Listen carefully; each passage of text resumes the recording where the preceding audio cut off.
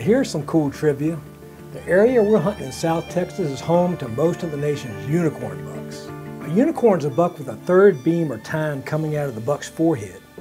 Biologists tell me it's probably caused by injury to that facial area, likely stabbed there by another buck's tine. So just how rare is a unicorn buck? You know, I was talking to a biologist from Texas and he told me that he has captured over 4,000 deer in his career, not one unicorn. So if you happen to shoot one of these boys, you got something special.